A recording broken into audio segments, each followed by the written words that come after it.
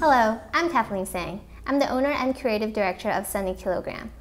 Microsoft Word is a great word processing tool, but it also allows you to work with pictures. For example, you can take a screenshot of your screen and insert it into Microsoft Word. I'm going to show you how to do that right now. Let's take a look. First, obviously, you would need to take a screenshot of something.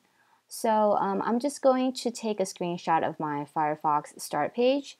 If you're on a Mac, you would do Shift Command 3 on your keyboard, okay, to take a screenshot of your screen currently. And if you're on a PC, hold down the Alt key and then hit the print screen button, all right? So I just took a screenshot and it's actually over here. Okay, it's just a screenshot of the start page on Firefox. And now let's go over to Microsoft Word, open that up.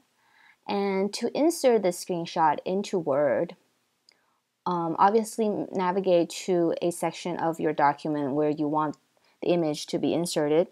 And um, for our purposes, I'm just going to leave it you know, on the first line.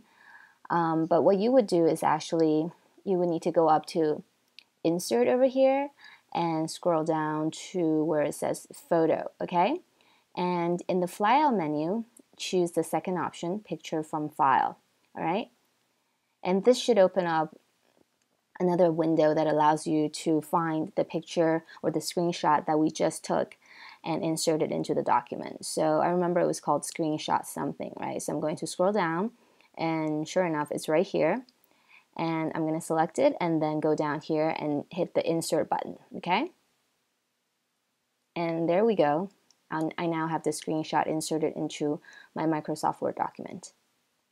Some versions of Microsoft Word actually allow you to insert the picture directly within the program, but I wanted to show you a way to do this even when you don't have this version.